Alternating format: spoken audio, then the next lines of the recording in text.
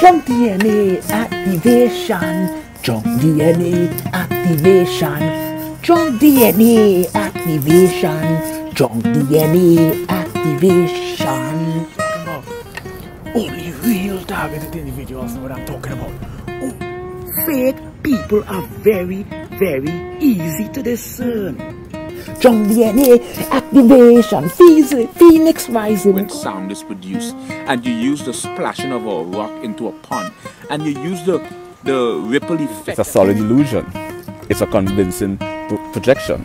It's Don't hold against me. You know. Part of the Copenhagen in- interpretation. I'll explain what the Copenhagen in Copenhagen. Put your freaking thoughts together, dude. A premise as a noun is a previous state.